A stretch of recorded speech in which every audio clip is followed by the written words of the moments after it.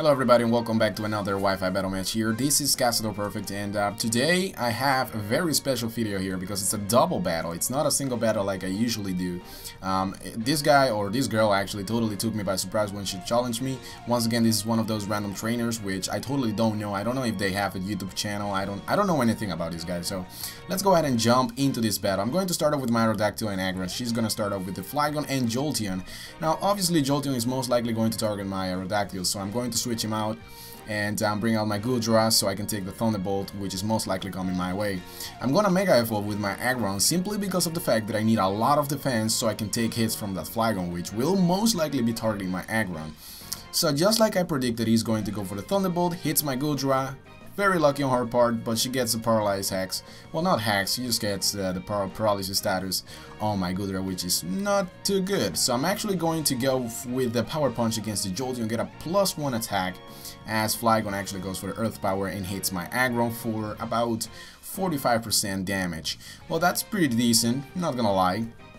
But now that my Goodra is out on the field, I'm most certainly that that Flygon is probably going to target my Goodra, Therefore, I'm gonna withdraw my Goodra, send out my Gardevoir, and be totally unaffected by the Dragon type uh, move that is most likely coming my way. And at this point, he goes for the discharge, gets a paralyzed hex on both of my guys. Luckily for me, I am running the Lum Berry on oh my Gardevoir, therefore I do recover from the paralysis. I'm going to go for the Heavy Slam on the Jolteon. You could say it's not super effective, but it is still a huge difference between weight uh, between uh, you know Mega Aggron and Jolteon because Jolteon is way lighter and Heavy Slam just hits harder the heavier the user is. So Jolteon goes down and he actually switch his uh, Flygon for his uh, Seaguard or Sigard or Sigarde, whatever it's called. Um, and that is totally fine by me as it brings out also a Aegislash and as we all know guys you totally know that I totally dislike Aegislash I don't like that Pokemon because of the fact that it's overused already and the games are just brand new. And two it's it's pretty ugly in my opinion. It's I just don't like it um, I go for the Will-O-Wisp and get a burn on him as he goes for the Shadow Claw, hits my Gardevoir for super effective damage, does a lot of damage, almost takes me out.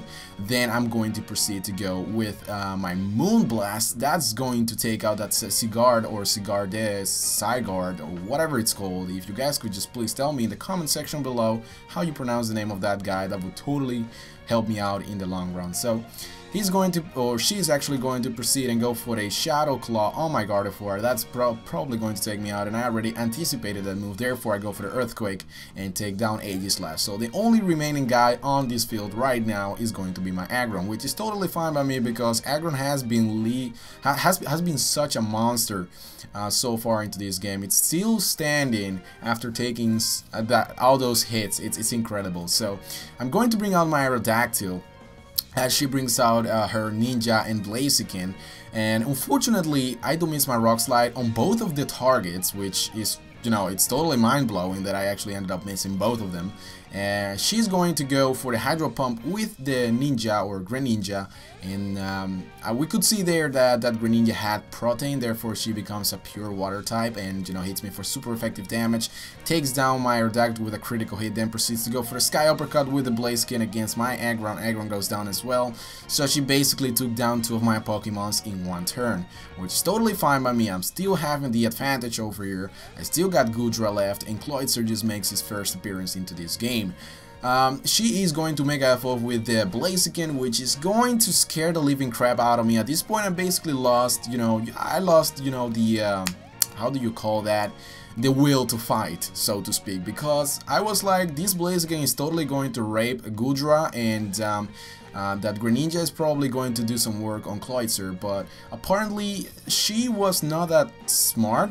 I, don't I don't even know what happened there. She went for the Brave Bird on the Cloyster, um, not smart. She goes for the Hydro Pump on Goodra. Not smart. Oh, I mean, she actually went for the Hydro Pump, I think, on... Yeah, I don't even know what happened there, but I'm not even following the battle right now. It's going too fast. So she's actually going to get a speed boost on the Blaziken this turn, and then she's going to proceed to go for the Overheat. Guess on who? On Goodra. Yeah, I don't I don't don't ask me why she even did that because I have no explanation for that. It's not super effective and as we all know Goodra has the the biggest special defense of any dragon out there possible, alright? So period. So uh, that Greninja is going to go for a Hydro Pump, gonna hit my Cloyster, and Cloyster still hanging on there. That is such a tough guy. I'm going to go for the Aura Sphere and take him down, which is awesome, and Draco Meteor to the face against that Mega Blaziken, and that is not going to be able to take it.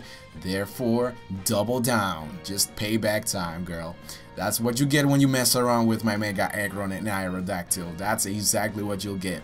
But once again, I am very lucky that she was not as smart as I thought she would be, because if I were her, I would have targeted my, uh, I would target my uh, Goodra with both guys and take down Goodra because she's probably the biggest threat at this point because she can take, or, or he can take the most hits out of them all. So and once again, she proves her worth because it's she.